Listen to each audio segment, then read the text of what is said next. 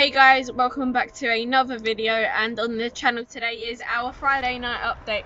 Um, so it'll be, what what would the date be? It would be, so it's the 16th when we're filming it, so it'll be 17th, or it'll be 17th or 18th. But but we're going to do a Friday night update um, and basically there's a, it's a, it, might, uh, it might not be as long of an episode today because there's a little bit to go through on the greenhouse, a little bit on the flowers, and then there's a little bit more to do on the veg. But let's go over to the greenhouse and start there. So, um, so you can see how much space we've got in here. And basically, we did an airflow, but also in that airflow video, we um, we cleared out the we well we did quite a bit of work on the greenhouse. And um, the first thing I wanted to tell you guys about is um, the pepper at the back. And so if I step out the way, you can see it there. Um, and you can also see that the the, the melon trellis is here um, it's a bit sticky out, so when you come in, you sort of have to be careful about poking yourself. And so we've actually got quite a lot of peppers and quite a few growing. Um, most of them are at different stages. The the ones that you just saw, uh, they're they're the best ones that we've got so far. They're the biggest, and then we've got some smaller ones, which is quite good from a harvest perspective because then we don't have to use a lot at once. And also with and we've got a, um some three in a grow bag, and they're producing quite a lot of flowers. And also the tomatoes on the other side in our uh, in the other grow bag are getting quite big as well. Um, so we put so we so you might have noticed maybe in the in the airflows um session um video that the pepper uh, that the tomato plant was leaning out quite a bit. Now you can see it's a bit more upright, and we and my dad just before we started filming um just tied it up so it's not as leany overy. Um, and we've actually got the start of uh, one little, or uh, maybe I don't know. I think it's one little melon coming through. So um, so uh, what for what for, from our understanding, melons don't grow well in the UK or don't grow as as as mature. So uh, we're not too sure whether there'll be enough time in the growing season for the, the for the melons to get to full majority full maturity. So let's pause the video and show you a close up. So there's quite a lot of maintenance when it comes to growing melons. You have to clip them up quite often just because they they get quite big. And so we've done a bit more clipping up you can see there. And basically, so you just saw a close up. Uh, here's another bit of a close up of the melon. Um, uh, but we're not too sure whether there's going to be enough time left in the growing season for it to grow to full maturity. So let's uh, do a little bit of a fruit tree update. So um, a little bit of a fruit tree update, and it's not massive, but we've got quite a lot of growth on all of the plants.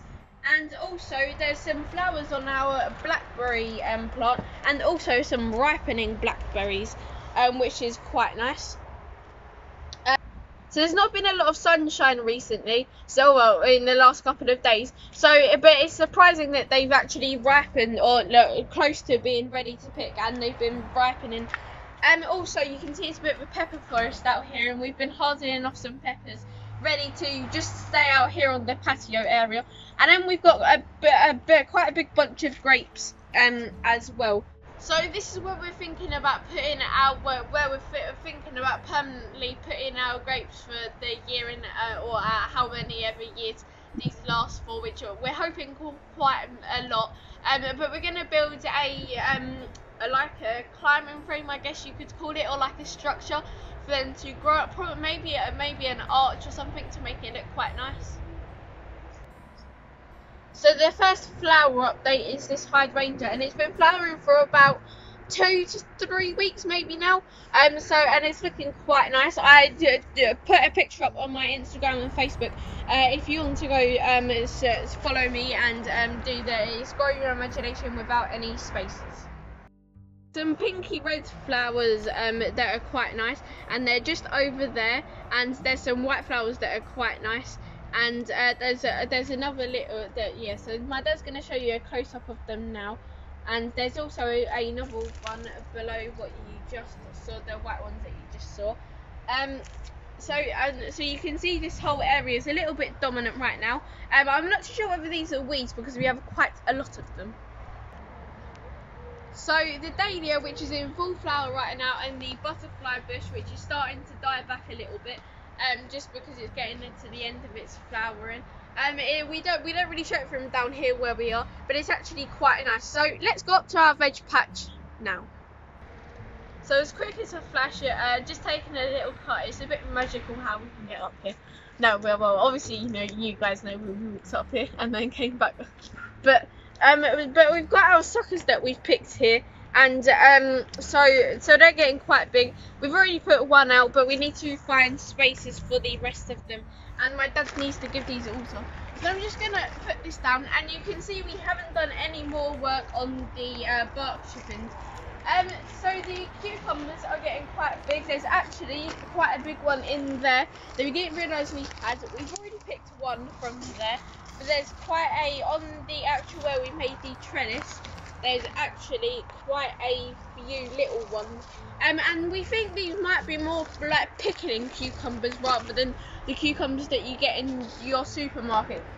But if you follow us from here to where our um, where we built our um, squash trellis, and there's some that very big there's quite big squashes down there, which my dad's just going to show you now.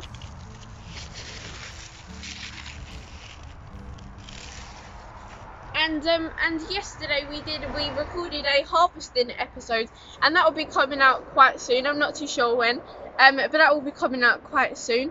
So or, or it would have already come out. I'm not too sure when we're planning to upload that. So um but so we did so we harvested a lot of almond stew uh, two courgettes and a little bit of spinach. So there's a beetroot that is pretty that is ready to pick. We're not going to pick it yet but that is the beetroot and uh, and about that size they're ready to pick. So you can pick it you can do what you want with it. But at the weekend probably we might find a recipe cook it with it and use our beetroot that we got. Um hopefully some of the others start to um produce like they are. Um but yeah. So a bit of a broccoli update. There's a little one um just just in here and but if you follow me we have a much bigger one or some much bigger ones here. So this is the biggest by far. Um so this one seems to be dying back a little bit. I'm not too sure what's up with that one. Um but the, you can see the, where is it? Oh she might be in the lane to be fair. Um so we'll leave her to it. I was just i couldn't see her so i was like but she might be in her nest box. Um so we'll leave her to it so there's a, there's a carrot that's near, well, probably is ready, but we're not going to pick it quite yet, and I've got to be quite quick about this. So you can see in there um, that there's one, and I need to cover that up relatively quickly, because then we, because then there's the least chance of a carrot fly coming along. But um, if I stand up and out of this bed quickly, um, we're gonna probably pick some of the unhealthier um, courgette plants out, and my dad actually wants to plant about two more and put them in. And but just because there's enough time left in the growing season for to get some produce out of it, so there's actually some new growth, and um, so hopefully this will enable us to take off the yellow and not so healthy leaves, and uh, still and the plant will still do well. So um, so there's no real sign of swede that yet that we planted. Um, so so there's no real sign of the big heads of swede yet, and we haven't had any cauliflower heads yet. And um, the runner beans are getting quite big at the back. Um, there's some quite nice flowers. So we've probably got over well, we've got over 30 crops, maybe 35 crops and um, it just so it just shows how much we have to put together for these updates.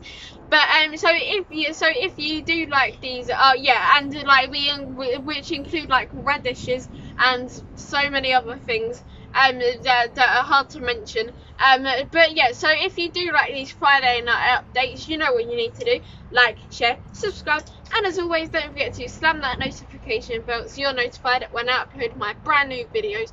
Um, and go, don't forget to go check me out on Instagram and Facebook. It is Grow Your Imagination without any spaces. Um, but there's two videos popping up now. One was last week's Friday night update, and the other one was the second part of the putting the strawberry bed together. But there was two videos for you to pick from just then. But I will catch you on in the next one. Bye, guys.